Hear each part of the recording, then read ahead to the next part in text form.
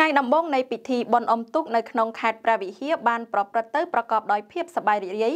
និងមានការចូលរួមពីប្រជាពលរដ្ឋយ៉ាងច្រើនកកក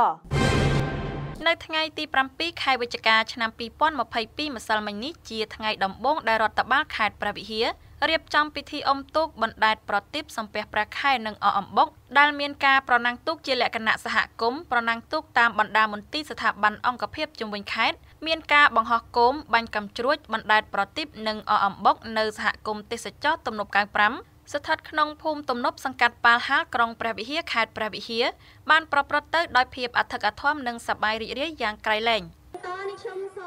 ខ្ញុំជាប្រជាពលរដ្ឋនៅខេត្តព្រះវិហារមានចិត្តសប្បាយរីករាយដែលមានវិធីបន់អុំទូកនៅក្នុងខេត្តដែលធ្វើឲ្យប្រជាជនបានមកមើលហើយនឹងសប្បាយ ហើយចង់ឲ្យមានការប្រកួតចឹងជារៀងរាល់ឆ្នាំក្នុងនាមខ្ញុំជាប្រជាពលរដ្ឋនៅក្នុងខេត្តព្រះវិហារខ្ញុំបាទមានសេចក្តីសំណោះរីករាយយ៉ាងខ្លាំងដែលបានរដ្ឋបាលខេត្តព្រះវិហារ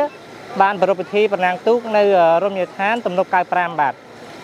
នៅក្នុងថ្ងៃទី7នេះគឺមានពិធីអុំទូកនៅពេលល្ងាចមានពិធីបង្ហោះគោមបាញ់បាញ់ចង្ជ្រោចនៅថ្ងៃទី8និងថ្ងៃទី9ផងដែរបាទ សូមអញ្ជើញប្រជាពលរដ្ឋទាំងអស់និងភ្ញៀវទេសចរទាំងអស់អញ្ជើញមកចូលរួមឲ្យបានច្រើនចុះកបាទសូមអរគុណ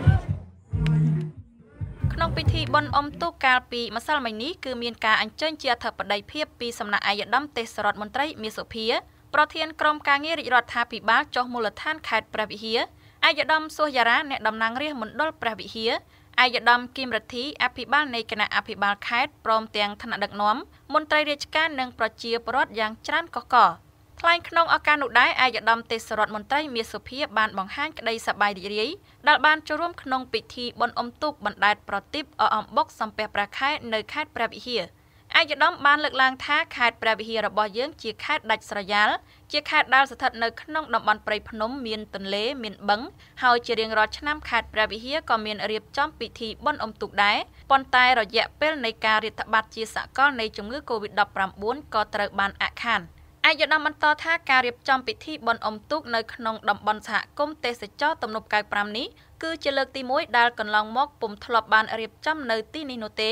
ហើយពិធីបុណ្យអុំទូកនេះទៀតសោតប្រព្រឹត្តទៅក្រោមការផ្ដួចផ្ដើមពីឯកឧត្តមគឹមរទ្ធីអភិបាលនៃគណៈអភិបាលខេត្តព្រះវិហារពិធីបុណ្យអុំទូកថ្ងៃនេះមិនមែនជាការចង់ឈ្នះចង់ចាញ់យករង្វាន់ពេកនោះទេប៉ុន្តែជាការចូលរួមថែរក្សាវប្បធម៌ប្រពៃណីជាតិដ៏ល្អរបស់យើងឲ្យគង់វង្សស្ថិតស្ថេរជានិច្ចនិរន្តរ៍ ដោយដែលយើងទាំងអស់គ្នាបានដឹងមកហើយពិធីបុណ្យអុំទូកបណ្ដែតប្រទីបសំពះព្រះខែនិងអអំបុកជាប្រពៃណីទំនៀមទម្លាប់ខ្មែរដែលជាមរតកវប្បធម៌ដូនតាបានបន្សល់ទុកតាំងពីសម័យបុរាណយូរលង់ណាស់មកហើយ